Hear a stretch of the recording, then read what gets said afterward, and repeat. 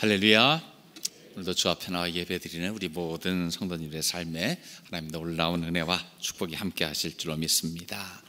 2월을 아, 또한 시작합니다. 새해가 시작한 지 얼마 안 되었고 한 달이 지나고 이제 2월 시작했습니다. 그 구정 연휴도 다가오는데 우리가 주님을 따라 사는 삶을 다시 한번 재점검하는 시간이 되기 원합니다. 하나님 우리를 부르시고 우리는 응답하며 살지요.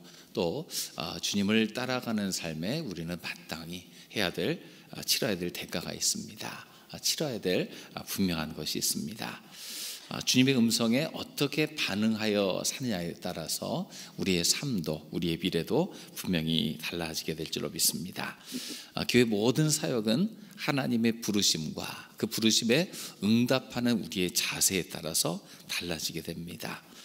우리는 그 사사로운 내 개인의 사역을 하는 것이 아니라 하나님께서 부르신 그 부르심 따라 사는 것이기 때문에 그렇습니다.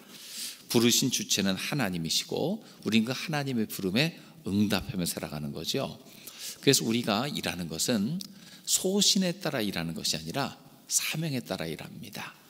소신껏 산다는 것은 자기의 생각, 자기의 결단, 아, 자기의 어, 생각한 바에 따라 사는 거지만 사명 따라 산다는 건 무엇입니까? 하나님의 뜻, 하나님의 계획, 하나님의 부르심에 따라 사는 것을 의미합니다. 그래서 자기 소신이 아니라 하나님의 부르심에 대한 확신이 분명하고 그에 따라 살아가는 우리 모두가 되시기를 주의 이름으로 축원합니다. 오늘 읽은 본문에서 예수님께서 어떤 사람을 제자로 부르시고 그들의 삶을 기뻐하시는가 하는 것을 보기 원합니다.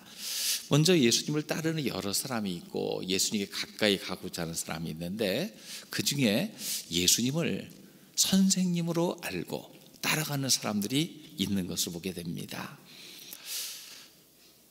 예수님에게서 무언가를 배우고 그 배움에 응답하며 살아가겠다 이런 생각을 하는 겁니다.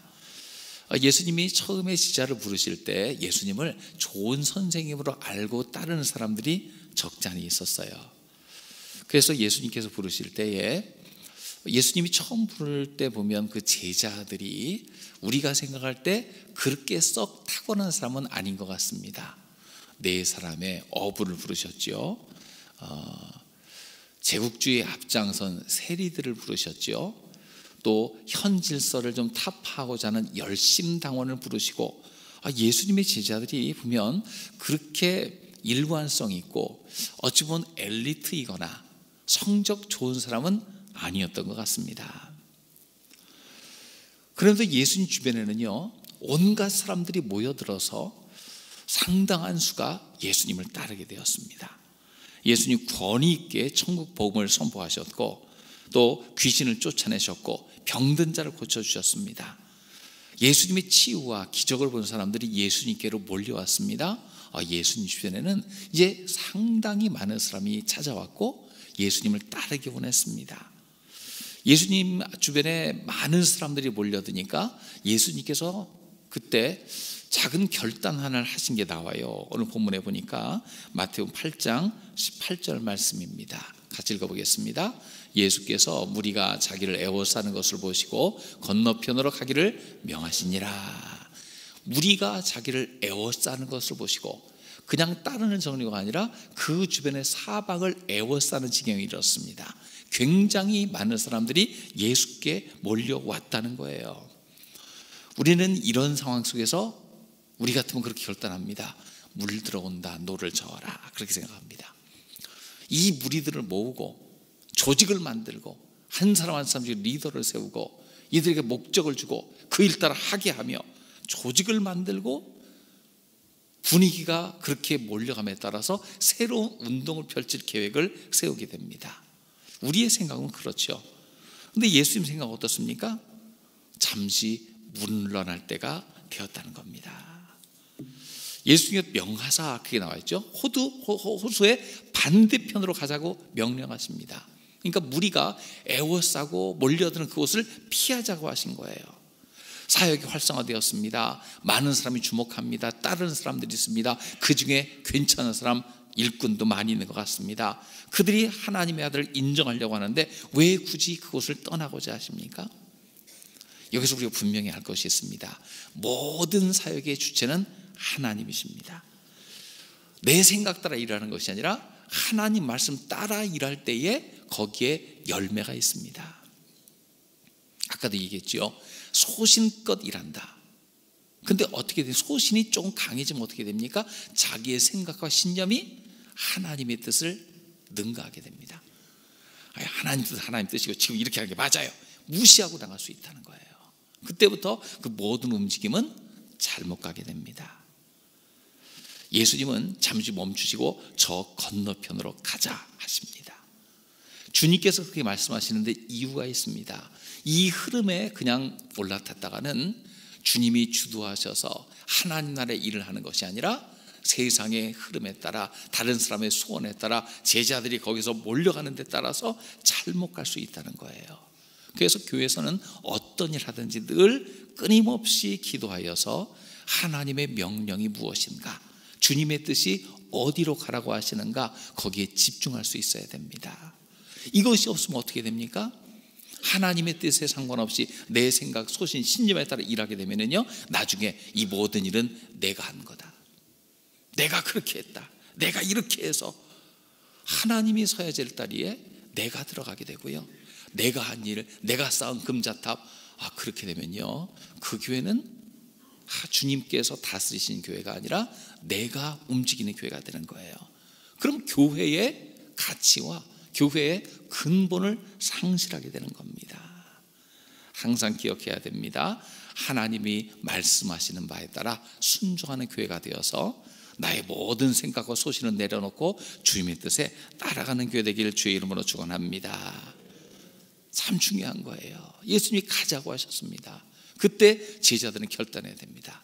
내 생각, 세상의 흐름이 아니라 하나님 말씀, 주님의 명령 따라 가야 된다는 거죠.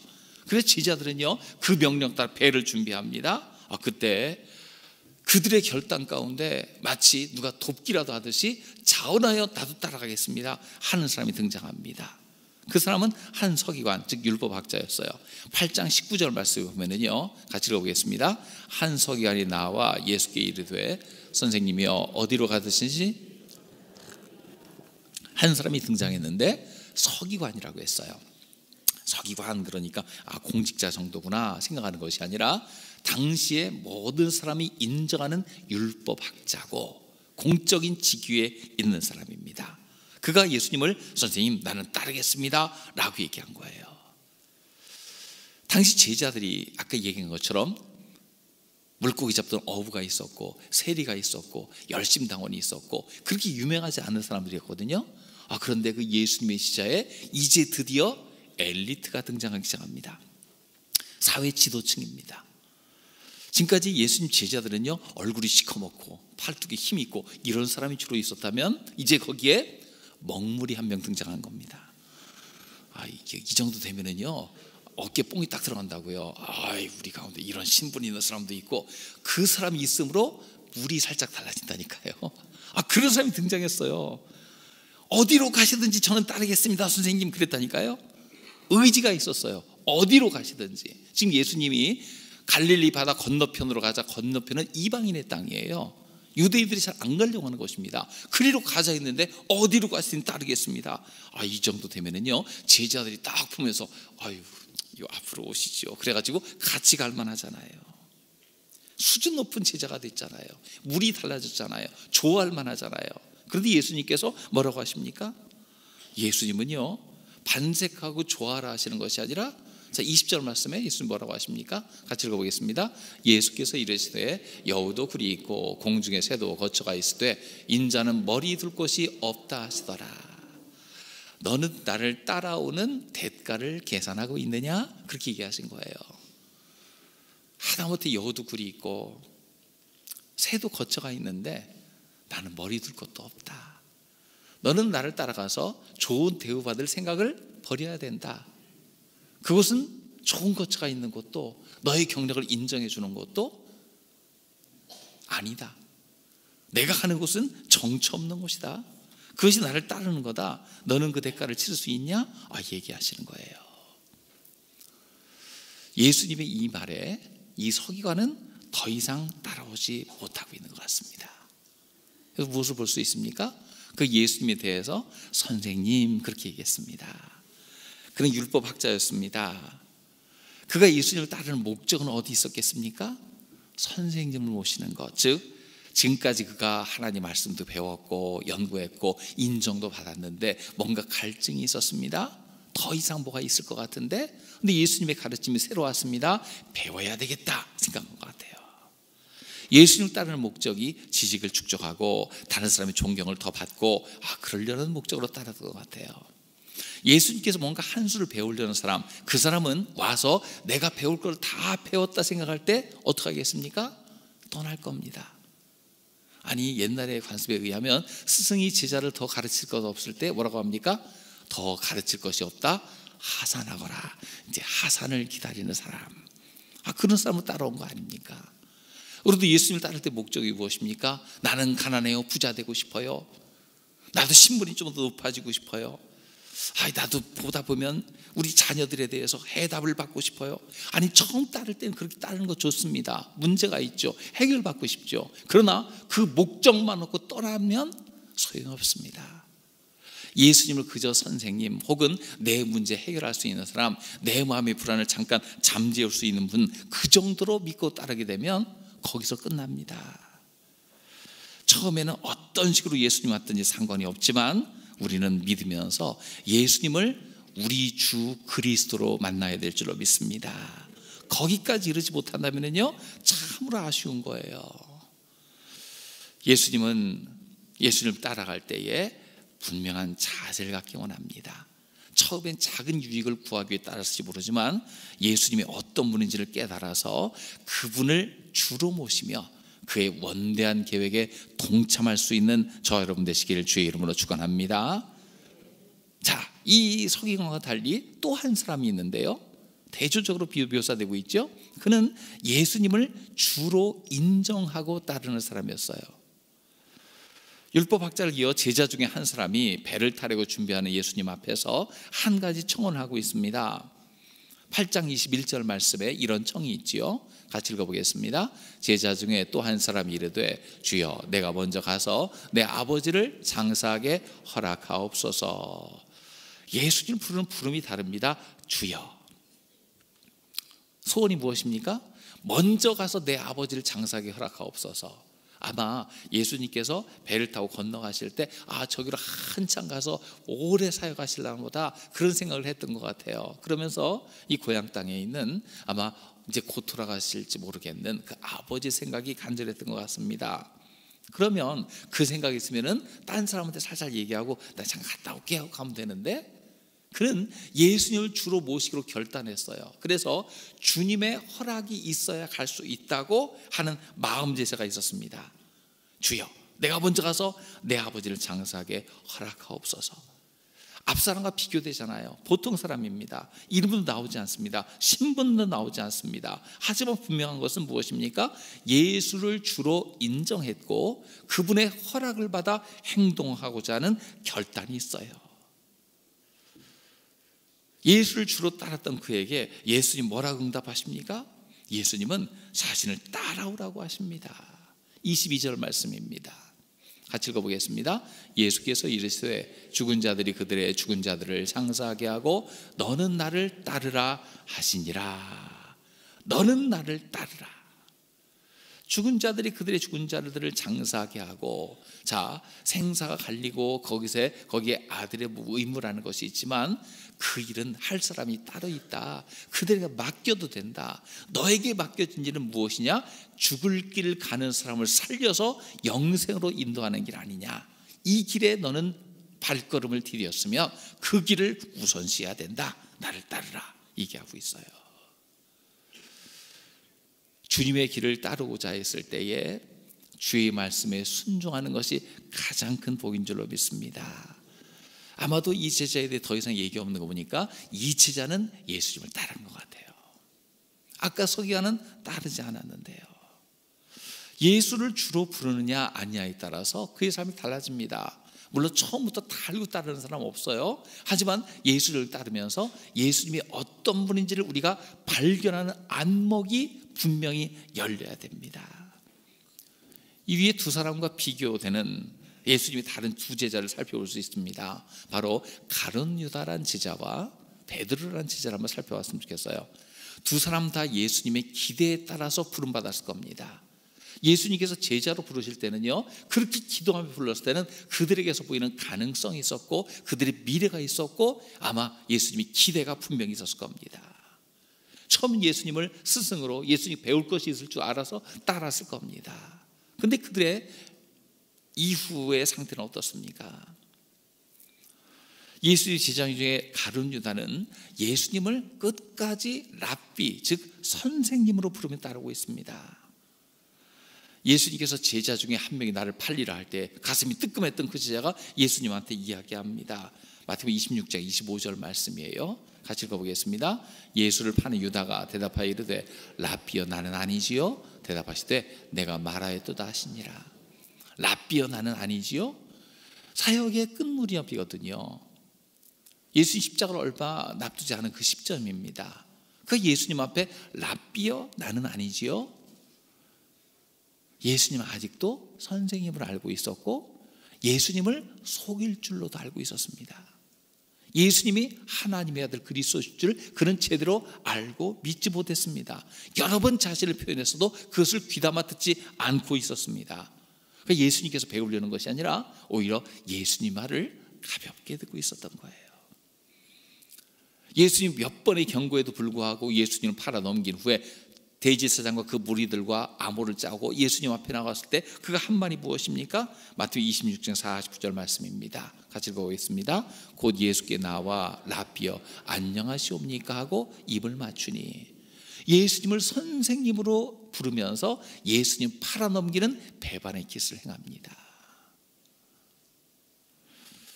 예수님께서 무엇을 배우고 다 배우면 떠나가야지.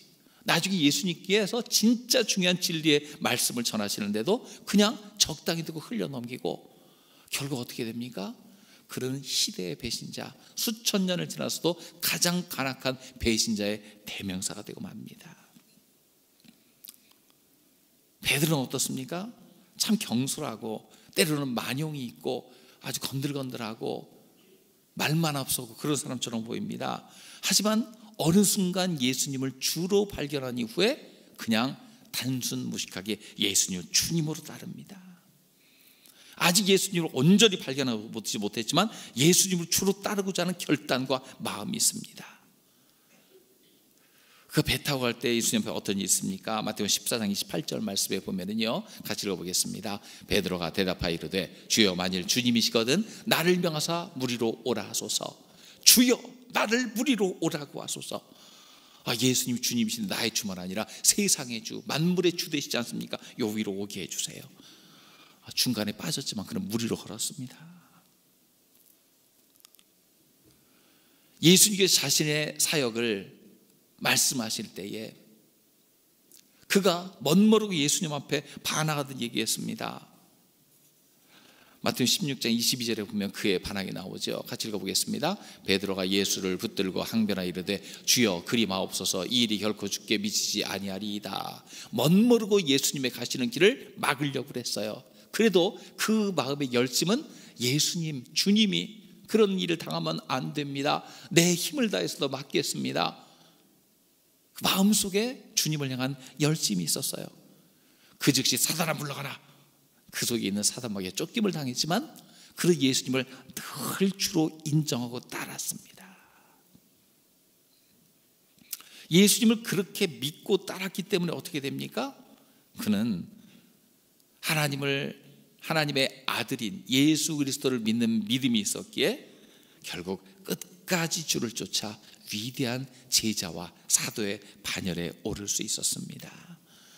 우리도 예수님을 따를 때에 우리가 예수님을 부르는 분명한 자세가 있기를 주의 이름으로 축원합니다. 그저 작은 부스러기를 얻어먹으려는 자세가 아니라 예수를 주로 그리스도로 세상의 구주요 세상의 창조자요 끝날까지 함께 하시는 그분으로 만나서 그분의 놀라운 은혜를 경험하는 우리 모두가 되시기를 주의 이름으로 축원합니다. 그래서 주로 인정하고 살 때 그의 삶이 확실히 달라지는 것을 우리는 알 수가 있지요. 자, 예수님을 주로 알았다면 이제 그분의 삶은 어떻게 해야 됩니까? 바로 주를 따르는 자가 되어야 될 줄로 믿습니다. 두 사람의 청원을 처리하신 예수님은요 이제 갈릴리 건너편 땅으로 가고자 하시죠 마태오 8장 23절에 보면은요 같이 읽어보겠습니다 배에 오르심에 제자들이 따랐더니 제자들이 따릅니다 예수님을 그냥 선생님으로만 아는 제자들이 아니라 주로 보시는 사람들 그들이 따라가게 됩니다 제자들이 따라갔을 때에 보면 아까 두 사람에 대한 자세한 언급은 없어요. 그렇지만 서기관은 아마 포기한 것이 분명한 것 같고요. 아버지를 장사하고자 하는 사람은 아마 그 일은 다른 사람이 맡겨두고 나는 따르리라 따라간 것 같습니다. 그 이름은 나오지 않지만 분명히 따라간 것 같아요. 그 열두 제자의 일원인지 아니었는지 그것도 모릅니다. 하지만 따라갔습니다. 배에 오르고 싶었던 서기관은 오르지 못했고 배에 오르길 주저했던 그 제자는 당당히 올라서 함께 간 줄로 믿습니다. 그 배 탄 자들은요 이제 어떤 경험을 합니까? 자 마태오 8장 26절에 보면은요 같이 읽어보겠습니다. 예수께서 이르시되 어찌하여 무서워하느냐 믿음이 작은 자들아 하시고 곧 일어나사 바람과 바다를 꾸짖으니 아주 잔잔하게 되거늘 가는 길에 큰 풍랑이 일어났죠. 모두 두려워 떨며 소동하는 가운데 예수님께서 뭐라고 하십니까? 믿음이 작은 자들아 어찌 두려워하느냐 바람과 풍랑을 꾸짖어 잔잔케 하셨습니다. 그들이 보시는 그분이 어떤 분이셨습니까? 세상의 모든 자연 만물조차 주관하시는 창조주 하나님심을 깨닫게 된 줄로 믿습니다. 건너편 그들이 두려워하던 이방인의 땅, 그들이 꺼려하고 만지기도 두려워하던 그 땅에 도달했습니다. 그곳에 갔을 때 그들을 맞은 것은 무엇입니까? 무덤 사이에서 귀신 들려서 큰 소리치며 사람들을 오가는 걸 방해하던 귀신 들린 사람 하나를 만났습니다. 마태오 8장 32절에 보면 예수님께 어떻게 하셨습니까? 같이 읽어보겠습니다. 그들에게 가라 하시니 귀신들이 나와서 돼지에게로 들어가는지라 온 때가 비탈로 내리다라 바다에 들어가서 물에서 몰사거늘 귀신 들린 사람이 나와서 예수를 방해할 때 예수께서 귀신을 꾸짖을 때에 귀신들이 어떻게 됩니까? 그곳에 있는 모든 돼지에게로 들어가서 비탈로 내리다라 몰사하는 것을 보게 됩니다. 영적 세계를 다스리는 예수님을 만나게 되는 줄로 믿습니다. 예수님의 특별한 사역에 동참하게 됩니다. 이방 세계 속에 얼마나 많은 악한 귀신들이 역사하는가 하는 것도 알게 되었고 그들이 예수님 말씀에 더 이상 감당하지 못하고 쫓겨나는 것도 보게 되었고 어, 주님을 따라갈 때에 주님의 시자가 될 때에 예수를 주로 보실 때에 따라오는 권세가 어떤지를 직접 목격하게 된 줄로 믿습니다. 여러분 예수님을 그냥 배울 것 있고 축복의 부스러기 떨어뜨려 주는 분으로 만나지 마시기 바랍니다. 예수님은 자신의 이 위대한 사역, 영적 세계를 다스리고 이 세상을 통치할 수 있는 그 일의 일원으로서 우리를 부르셨습니다. 복음을 증거하고 말씀을 가르치며 가난한 사람을 되살리고 영적으로 억압받는 자들을 풀어주시려고 우리를 부르신 줄로 믿습니다. 주님이 우리를 부르셨다는 것은 얼마나 놀라운지 몰라요. 그래서 주는 그리스도시요 살아계신 하나님의 아들이십니다. 이런 믿음의 고백을 가지고 주님을 따라갈 때 잠깐 배울 수 있는 분이 아니라 세상의 주인이신 예수님을 믿음으로 따라갈 때 우리의 삶이 달라지고 우리의 미래가 변화될 줄로 믿습니다. 우리 예수님을 따라갈 때에 구경꾼으로 따라가면 안 됩니다. 참 좋은 구경했다. 아닙니다. 수동적인 학습자로 따라가면 안 됩니다. 예수님이 한 수 배웠다. 안 됩니다. 예수님의 축복의 상 주변에서 부스러기 얻어먹는 자라고 하면 안 됩니다. 거기서 끝날 수가 없습니다. 예수를 주여 부를 때 예수님은 그 주님의 사역의 동반자로, 제자로, 주님의 일을 대신할 수 있는 하나님의 사명자로 사용하실 줄로 믿습니다. 올 한 해 시작할 때에 어떤 마음을 갖고 시작했습니까? 우리가 부름 받은 장소는 각각 다를 거예요. 아직도 공부해야 될 사람도 있고요. 직장 다니는 사람도 있고요.